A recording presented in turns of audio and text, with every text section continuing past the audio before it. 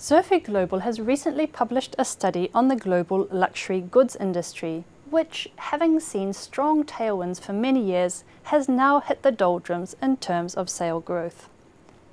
From 2010 to 2015, global personal luxury goods revenues grew by an average of almost 8% per year.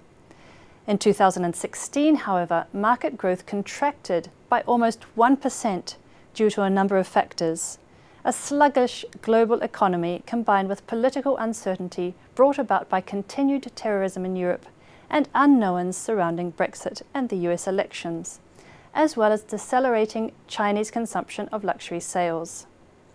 Indeed, Chinese consumption has been a major driver of luxury growth in the last few years, but sales are slowing and are unable to buoy up the global market to the same extent. Chinese nationals were behind 30% of global luxury spending in 2016, but this large market share is losing momentum in terms of growth as a result of anti-corruption laws, advertising restrictions, government efforts to reduce luxury gifting, higher taxes and trade tariffs, an increasing refusal from consumers to pay a price premium, as well as an economic slowdown and lower consumer confidence. A change is also being seen in terms of where the Chinese buy their luxury goods. Traditionally, most Chinese luxury consumption is done outside China. In 2016, this was still the case with around three quarters of sales to Chinese consumers made abroad, but a clear trend of repatriation is starting to be seen due to lower price differentials, government measures and current exchange rates that support domestic consumption. On the supply side, luxury groups are feeling the effects of an adverse market environment.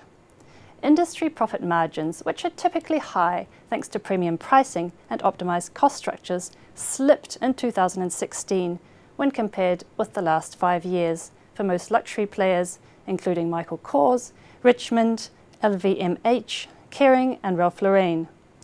Against this background, luxury companies are set to remain cautiously expansion orientated, most likely focusing on low risk markets.